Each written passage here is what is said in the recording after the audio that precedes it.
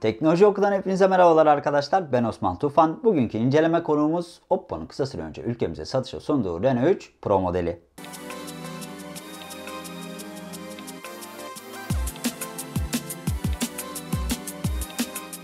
Biliyorsunuz arkadaşlar Reno modelleri zaten Oppo'nun kamera odaklı serisi. Dolayısıyla Reno 3 ve Reno 3 Pro'da da Oppo kamera tarafını ön plana çıkarmaya çalışmış. Daha önce Hindistan'da satışa çıkmıştı bu modeller ve Reno 3 Pro modeli orada satışa çıktığında çift ön kameraya sahipti. Lakin ülkemize geldiğinde ise bakıyoruz ön tarafta sadece tek bir ön kamera bulunuyor. Lütfen bu telefonu satın alacaksanız bu özelliğine dikkat buyurun. Çünkü internete yazdığınız zaman bu telefonun karşınıza çıkan görselleri %90'ında çift ön kamera mevcut. Dolayısıyla telefonda çift ön kamera var yanılgısına düşmemenizi tavsiye ederiz. Gelelim telefonumuzun tasarımına. Oppo bu telefonda kavisli ekran tasarımına yer vermiş arkadaşlar. Lakin bu kavisli ekran Samsung ya da Huawei'nin kullandığı kadar başarılı değil. Bunu size hemen baştan belirtelim. Örneğin Huawei'de ya da Samsung'da kavisler daha belirgin oluyordu. Yani yan tarafa baktığınızda yan kısımlarda ekranı görebiliyordunuz. Lakin Oppo'da yan kısma baktığınızda ekranları çok çok çok az görüyorsunuz. Ve şöyle telefonu ön kısımdan baktığınızda ise yandaki çerçeveler belli oluyor arkadaşlar. Özellikle Huawei'nin Mate 30 Pro modelinde ön yüzden baktığınızda çerçeveler yok gibi görünüyordu ve ekranın bittiği kısımdan sadece şuradaki güç butonu görünüyordu. Reno 3 Pro'da ise baktığımızda yan kısımdaki çerçeveleri net bir şekilde görebiliyoruz. Dolayısıyla bu kavisli ekran sizi çok fazla böyle yanıltmasın. Günün sonunda düz ekran gibi bir görünüme sahip. Bunu size baştan belirtelim. Lakin görünüş olarak son derece şık duruyor. Zaten delikli ekran tasarımına yer vermiş Oppo. Alt ve üst çerçevelerde son derece ince tutulmuş. Bu sayede telefonun ekran gövde oranı da maksimuma çıkarılmaya çalışılmış. Bunu size hemen söyleyelim. Şu anda Reno 3 Pro modelinin ekran gövde oranı yaklaşık olarak %87.4 arkadaşlar. Neredeyse %90 dolaylarında yani. Bu da son derece başarılı diyebiliriz. Telefonun arka kısmına geçtiğimizde ise sade bir tasarımla karşılaşıyoruz. Düz bir renk kullanmış. Yani burada alacalı bulacalı böyle çeşitli desenlerden bahsetmiyoruz.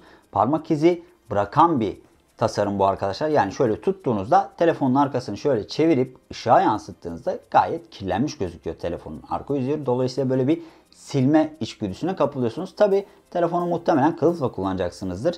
Çünkü e, bu telefonun fiyatı öyle aman aman ucuz değil. Dolayısıyla bu kadar para verip de bunu böyle e, kılıfsız bir şekilde kullanacağınızı da ben düşünmüyorum. Zaten kutudan çıktığında ekran koruyucuyla geliyor. Ayrıyetten bir ekran koruyucu almanıza ya da takmanıza gerek kalmıyor. Bu açıdan iyi. Zaten bu kavisli ekran olduğu için her ekran koruyucu bu telefona uymayacaktır. Bunu da size dipnot olarak belirtelim. Arka tarafta dikey olarak konumlandırılmış Dörtlü bir ana kamera modülü bulunuyor arkadaşlar. Bu modülün içerisine flash ışığı da yerleştirilmiş.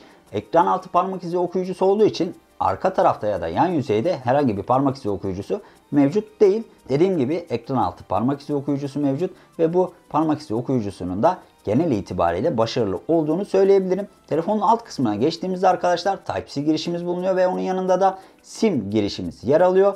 Burada tek eleştirebileceğim nokta 3.5 milimlik kulaklık jackının bulunmaması. Malum günümüzde bazı modellerde 3.5 milimlik kulaklık jackı bulunmuyor ama pek çok modelde de bulunduğunu söyleyebiliriz. Örneğin Renault 3 Pro'da kulaklık jackı yok. Fakat Renault 3 modelini satın alırsınız. Onda 3.5 milimlik kulaklık jackının geldiğini söyleyebiliriz. Tabi e, bunu kullanmamasının nedeni üreticilerin telefonları biraz daha ince tutabilmek Ayrıyetten de bataryaya biraz daha alan sağlayabilmek arkadaşlar. Tekrardan ön kısma geçelim ve biraz ekran çözünürlüğünden ve ekran detaylarından size bahsedelim. Oppo bu telefonda 1080 x 2400 piksel çözünürlüğünde 6.4 inçlik bir AMOLED ekrana yer vermiş. Bu AMOLED ekran arkadaşlar Corning Gorilla Glass 5 teknolojisiyle korunuyor. Dolayısıyla yere düşmeye ve darbeye karşı hayli dayanıklı. Tabi yine de yere atıp denemenizi tavsiye etmeyiz. Çünkü biliyorsunuz AMOLED ekranlar gayet pahalı ekranlar. Hele ki kavisli AMOLED ekranları değiştirmeye kalktığınızda ufak bir servet ödemeniz gerekebiliyor. Dolayısıyla o paraya yeni bir telefon bile alınır. Bunu size hemen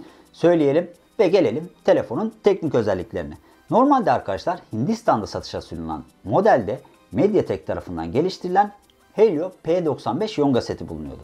Fakat Oppo bu telefonunu Avrupa'ya, Türkiye'ye getirirken Mediatek yerine Qualcomm tabanlı bir Yonga seti kullanmayı tercih etti ki bu bence son derece isabetli bir karar. Çünkü malum hem Avrupa'da hem Türkiye'de hem de Amerika'da Mediatek Yonga setlerine karşı bir ön yargı var.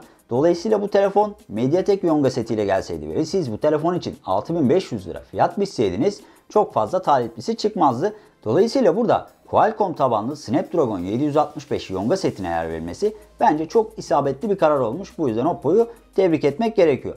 Gelelim arkadaşlar telefonumuzun RAM kapasitesine. Bu telefonda tam 12 GB RAM var arkadaşlar. Orta segment bir model için son derece yüksek bir RAM kapasitesi. Ayrıca dahili depolama alanının da 256 GB olduğunu sizlerle paylaşalım.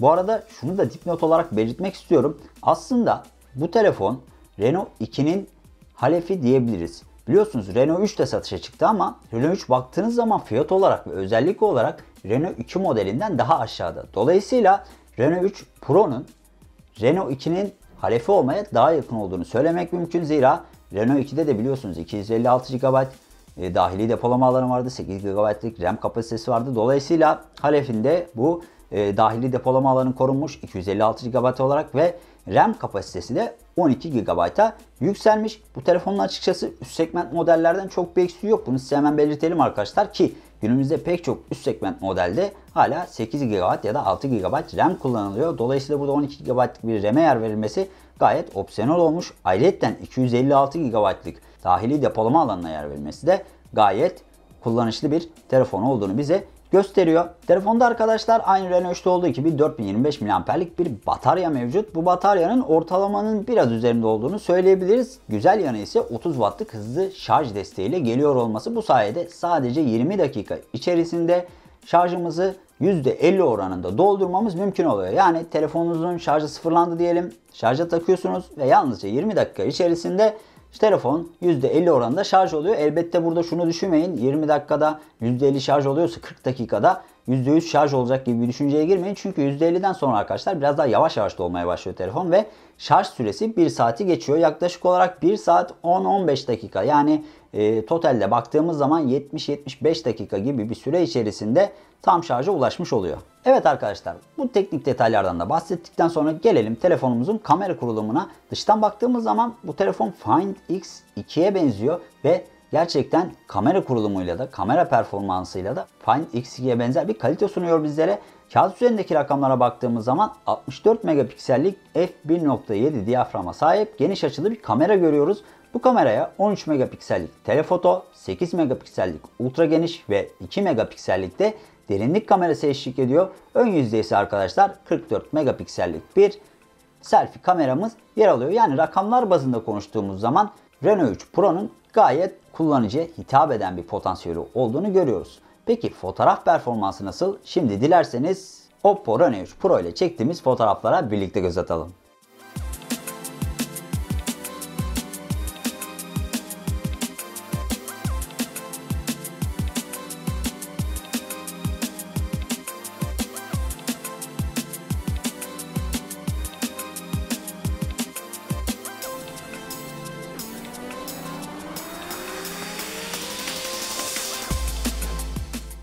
Evet gördüğünüz gibi fotoğrafların kalitesi son derece iyi. Düşük ışık olsun, yüksek ışık olsun gayet güzel fotoğraflar çekilebiliyor. Peki video performansı nasıl? Dilerseniz bunu da hemen sizlerle canlı olarak test edelim. Şu anda Oppo Reno 3'ün kamerasına geçiyorum. Evet arkadaşlar şu anda Reno 3 Pro'nun ön kamerasındayım. Telefonun ön kamerasıyla çektiğimiz videolardaki ses ve görüntü performansı bu şekilde. Elbette şu anda kapalı bir ortamda bulunduğumuzu da unutmayın.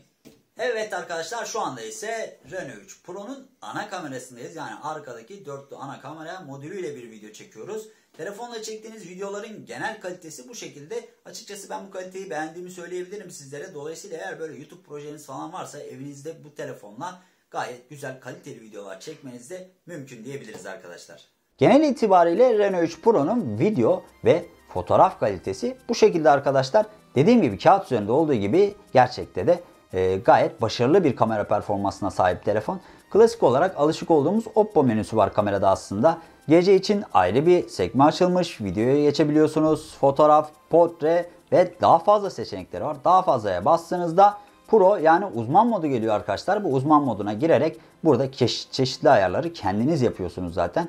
Fakat ben öyle uğraşmayı sevmiyorum diyorsanız hiç bu uzman moduna girmeden çeşitli modlarda, hazır olan modlarda daha doğrusu çekim yapmanız mümkün. Telefonu ilk aldığımızda arkadaşlar yani kutudan ilk çıkarttığımızda ColorOS 7 destekli Android 10 ile geliyor ve daha sonra inşallah güncelleme alır diyoruz. Çünkü Oppo ülkemizde güncelleme konusunda pek de parlak bir firma değil. Örneğin geçtiğimiz sene raflardaki yerini alan Renault 2 modelinde hala Android 9 kullanılıyor. Android 10 güncellemesi verilmedi. Bunu da sizlerle dipnot olarak paylaşalım. Telefonun fiyatı daha önce de belirttiğim üzere 6500 lira arkadaşlar. Biraz yüksek bir fiyat etiketi diyebilirsiniz. Lakin demin de belirttiğim üzere bu telefonun amiral gemisi bir modelden yani üst segmente hitap eden bir modelden bir eksiği yok. 12 GB'lık RAM var, 256 GB dahile depolama hafızası var ve kamera tarafında da son derece yüksek bir performansa sahip Yonga seti tarafına baktığımızda ise orta segmentin en güçlü isimlerinden birinden güç alıyor.